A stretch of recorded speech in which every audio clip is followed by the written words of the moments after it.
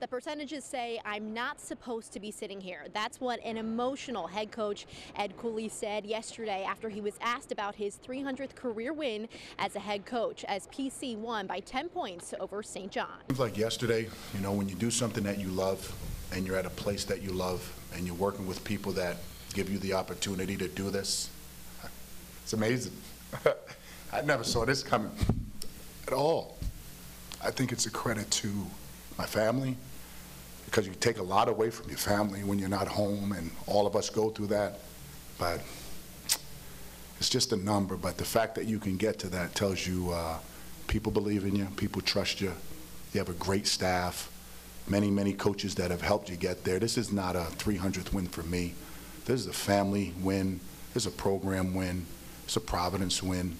The many people that support you, you know, I never saw that coming. PC hits the road and visits Creighton on Tuesday. Then they're back inside the Dunkin' Donuts Center on Saturday, hosting UConn. Reporting inside the Dunkin' Donuts Center, I'm Rosie Langello for 12 Sports.